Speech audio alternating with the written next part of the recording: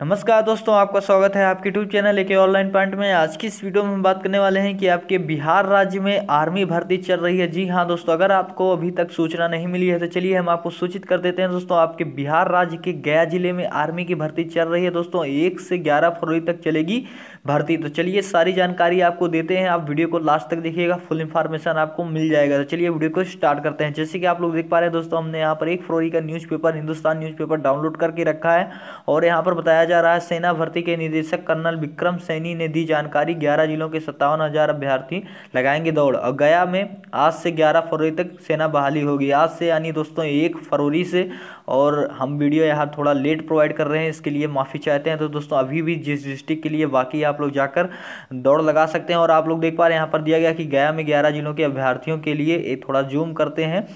जिलों के अभ्यर्थियों के लिए एक फरवरी से सेना भर्ती रैली होगी, जो ग्यारह फरवरी तक चलेगी।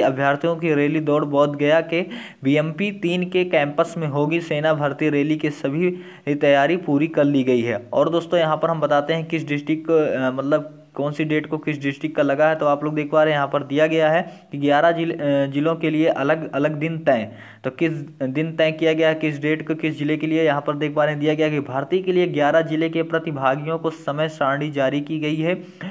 इसमें एक फरवरी को अरवल लखीसराय के लिए सैनिक सामान्य ड्यूटी, व सभी ग्यारह जिलों के लिए सैनिक, नर्सिंग सहायक, दो फरवरी औरंगाबाद, व जमुई, तीन फरवरी जहानाबाद, व नवादा, चार फरवरी कैमूर, भभुआ, व नालंदा, पाँच फरवरी रोहतास, व शेखपुरा छः फरवरी को गया जिलों के अभ्यर्थी शामिल होंगे। सात फरवरी को गया को छोड़कर सभी ज़िले के अभ्यर्थी सैनिक तकनीकी एवं आठ फरवरी को गया को छोड़कर सभी जिलों के अभ्यर्थी सैनिक लिपिक स्टोर कीपर तकनीकी इन्वेंट्री मैनेजमेंट, नौ फरवरी अरवल, औरंगाबाद, जमुई, जहानाबाद व कैमूर भगुआ ज़िले के अभ्यर्थी सैनिक ट्रेडमैन, दस फरवरी को लखीसराय, नालंदा, नवादा, रोहतास एवं शेखपुरा के अभ्यर्थी सैनिक और यहाँ पर दिया गया है कि ट्रेडमैन के लिए शामिल होंगे।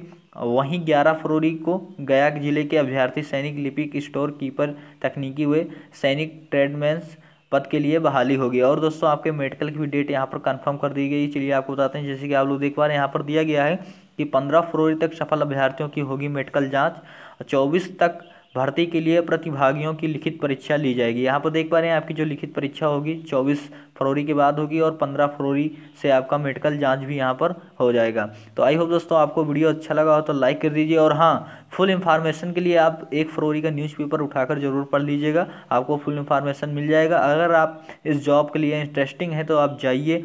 और वीडियो अच्छा लगा हो तो लाइक कर दीजिए दोस्तों, और जानकारी अच्छी लगी हो तो चैनल को सब्सक्राइब कर लीजिए। इसी तरह से आपको जानकारी हम देते रहेंगे। धन्यवाद दोस्तों, फिर मिलेंगे नेक्स्ट वीडियो में, तब तक के लिए बाय।